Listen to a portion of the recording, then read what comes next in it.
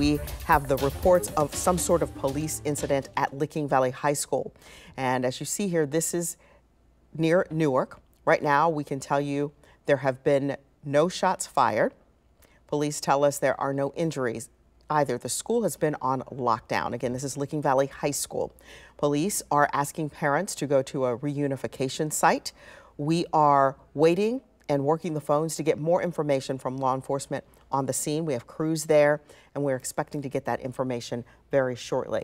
We do want to tell you that there have been two other active shooting hoax calls. One at Princeton High School right outside Cincinnati in that Sharonville area, if you are familiar right, with that, right off I-75.